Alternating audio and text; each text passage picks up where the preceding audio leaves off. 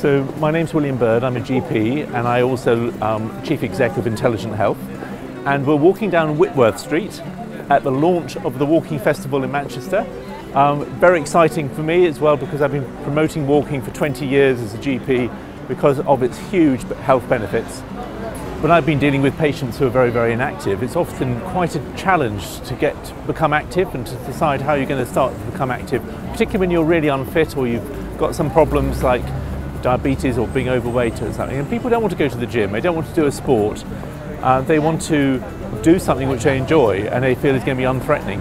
What tr we're trying to do here is actually get walking as a cultural change, get people walking not just for an event or to go from A to B, which is great, but actually for taking a family out, taking, going exploring new areas. People don't even know often where they live, you know, what's around their house, or the local history, or the, the parks.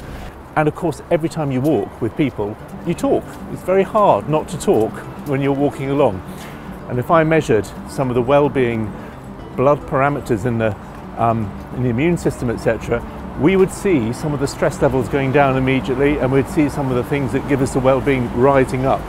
And it can happen very quickly, um, in a matter of minutes. We can start to see blood pressure dropping. So this is, from a health point of view, the kind of key part of not just the exercise itself, but that whole well-being of connecting to other people and belonging to a place and being valued and, and just enjoying the, the outdoors, which for some people, unfortunately, is, is a rarity of going out.